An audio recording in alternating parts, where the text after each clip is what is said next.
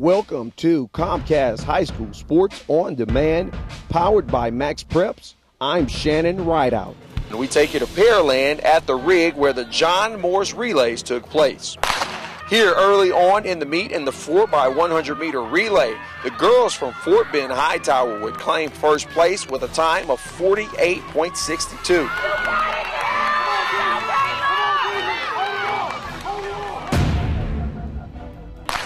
Now moving on to the boys action. In the boys 4x100 meter relay, Galena Park North Shore picking up right where they left off from last year. They claim first place in the 4x100 meter relay with a time of 41.61.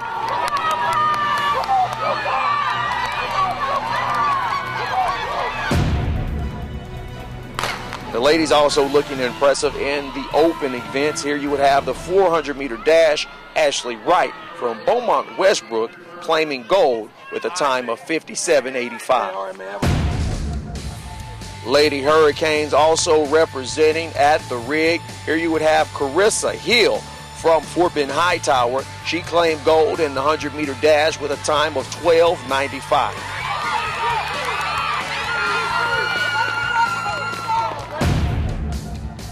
John Morris Relays usually has some of the best competitors in the Houston area, and Taylor Houston would not disappoint fans.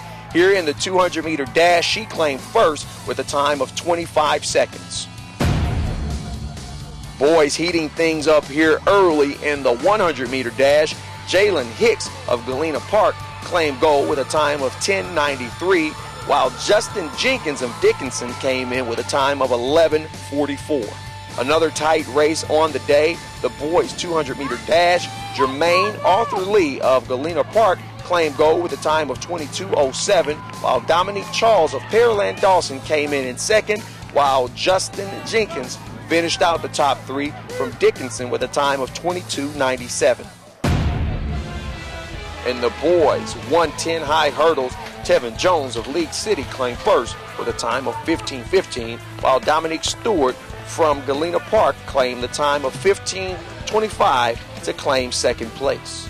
Also putting in work on the hurdles, the girls 100 meter hurdles, Savoy of Elkins claimed first with a time of 17.26, while Taylor Houston of Pearland Dawson got second with a time of 17.39, and that will do it for the hurdle action. Reporting for Comcast High School Sports on Demand, powered by MaxPreps. I'm Shannon Rideout.